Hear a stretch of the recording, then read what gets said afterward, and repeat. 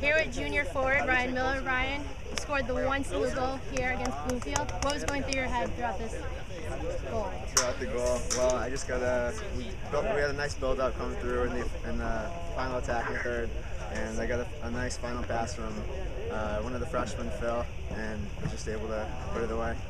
Now talk about your defense. You guys were very, you guys were on key. You didn't let Bloomfield score, so talk about that. Um, yeah, I mean our defense has been great. Um, definitely good when we have a shutout, don't let up any goals. So definitely proud of our defense. Overall, you guys did a great job, and good luck against Illinois. Thank you.